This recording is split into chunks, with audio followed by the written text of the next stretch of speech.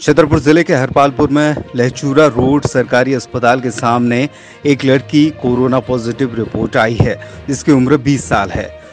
जैसे ही पॉजिटिव मरीज़ की पुष्टि हुई, इसके तुरंत बाद प्रशासन हरकत में आया और तहसीलदार बीपी सिंह और पूरी टीम यहाँ नज़र आई। वहीं हरपालपुर से सटे गाँव सरसेड़ में भी एक 14 वर्षीय किशोर पॉजिटिव आया है। इस एरिया को तत्काल कंटेनमेंट एरिया घोषित कर दिया और पूरे एरिया को सील कर दिया गया है।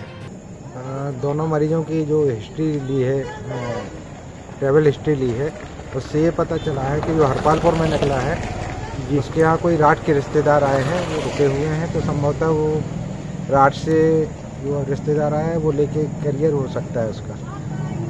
और जहाँ तक गाँव में प्रश्न है गाँव वाले में स्थिति में सरसेड़ में पता नहीं लग रहा है कि वो कहाँ से आए हैं। उसकी जाँच अभी लगातार जा रही है। जनता के बीच में भी काफ़ी लापरवाही देखी जा रही है। एक कारण हो सकता है।